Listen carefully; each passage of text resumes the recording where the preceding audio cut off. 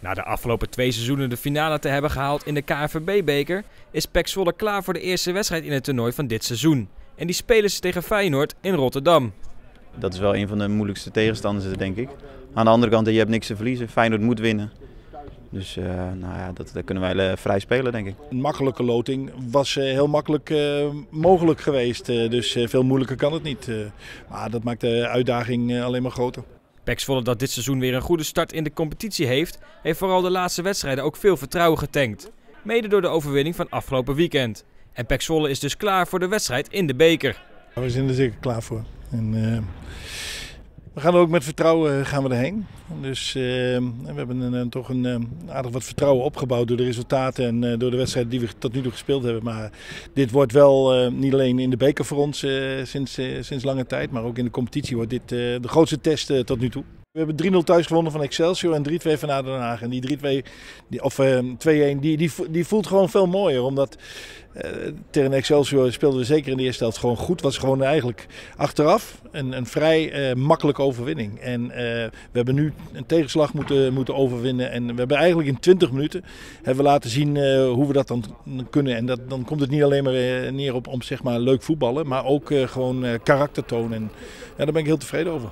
Met karakter dus naar Rotterdam, waar volgens Bram van Polen duidelijk kansen liggen voor PEC Zwolle. Ik denk in de omschakeling. Feyenoord, uh, ik vind Feyenoord wel een, uh, wel een aardig ploegje. Uh, maar zij, ik vind ze wel, wel, wel kwetsbaar in de, in de omschakeling. Dat heb je tegen Roda kunnen zien. nou, daar hadden ze af en toe wel eens moeite met, met die twee spitsen. ik hoop dat daar voor ons ook wat mogelijkheden liggen. Verwacht je dat Feyenoord het spel gaat maken en dat jullie dan echt vanuit de counter kunnen opereren? Dat denk ik grote delen van de wedstrijd wel, ja. ja wij zullen uiteindelijk ook... Uh, ja, zullen aan het begin zullen ze gaan stormen en vanuit daaruit moeten we dat gaan, uh, gaan overleven. En dan hopelijk ook, komen we ook een beetje tot voetbal. Alleen ik denk dat het schakelmoment heel, heel belangrijk gaan worden. Helemaal. Hoe zie jij uh, het Feyenoord van nu? Ja, ook nog wel zoekende. wel heel veel vind ik nou, bereidheid. En, en uh, soms eh, zijn ze eerder nog dat ze te graag willen. Maar uh, ze zijn nog wel zoekende in, in de opstelling en in de manier van spelen. En ja, om, om echt heel veel te creëren en, en ploegen kapot te spelen. Het is, het is, het is meer door, door de fysiek en door de entourage in de Kuip als ze thuis spelen. Dan dat het heel overtuigend is. Maar ja, daar, daar zit nog heel veel rek in voor Feyenoord. Alleen hoop morgen niet.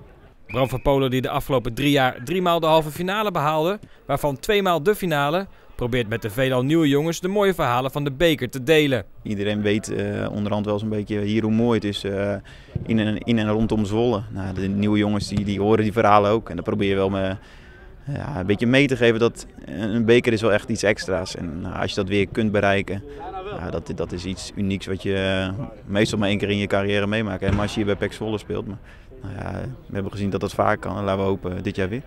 Uh, vandaag op de training, Ryan Thomas uh, had wat pijntjes. Uh, het laatste deel ook niet meegetraind. Hoe is het met hem? Nou, die is er morgen niet bij. Dus we gaan er alles aan doen dat hij zondag wel beschikbaar is. Is dat een aderlating voor morgen? Als Ryan niet speelt is dat altijd een aderlating, ja.